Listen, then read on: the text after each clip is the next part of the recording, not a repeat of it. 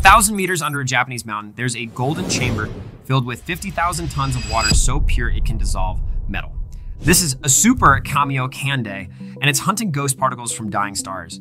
Those golden spheres covering the walls are 11,000 sensors, designed to detect neutrinos, particles so small they pass through your body, through Earth, through everything without stopping. When neutrinos hit this ultra pure water, they create a tiny flash of light that those sensors capture.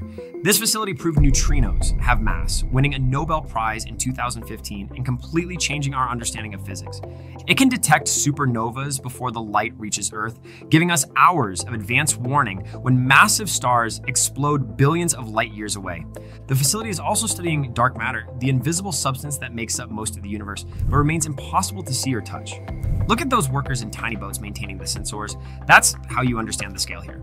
A chamber the size of a 15 story building carved into a mountain. After 40 years of operation, it's still making discoveries, recently upgraded with gadolinium for even better detection capability.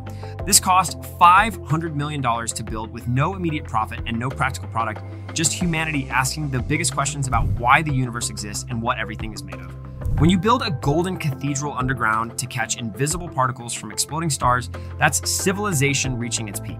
If you enjoyed this story, please show some love by liking the video and following my page for more amazing content like this.